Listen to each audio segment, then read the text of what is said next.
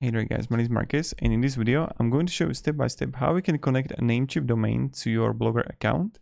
So it's nothing difficult. Uh, so the first thing that you want to do is when you're going to be in Blogger, go to settings. Then you want to click custom domain and the blog address.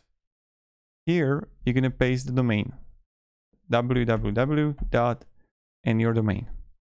Then click save. In the moment when you're going to click save, don't close this, this is really important.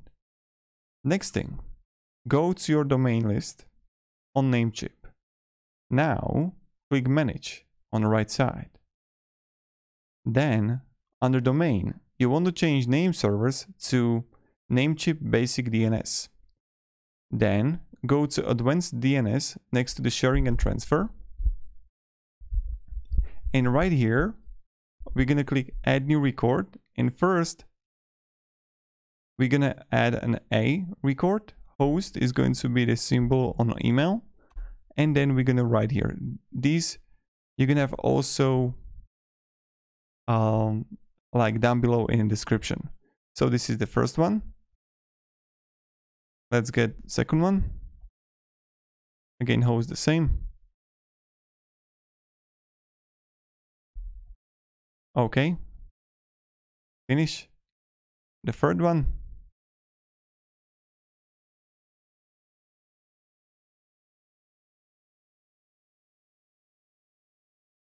Another record.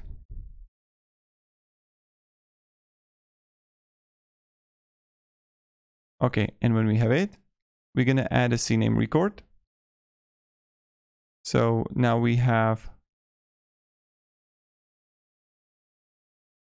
the records for the A, and now we have to add a CNAME. So CNAME, and what we're gonna do, name www destination okay like this. And you're gonna press save changes.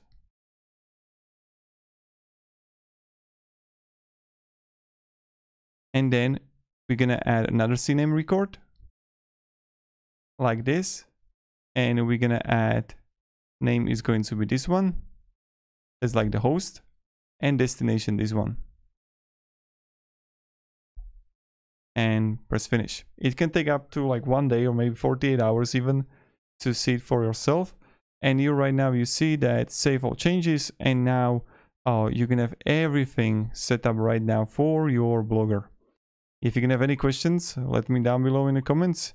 This is how you can do it under three minutes. Then you're just gonna click save and you got it. So thank you very much guys for watching.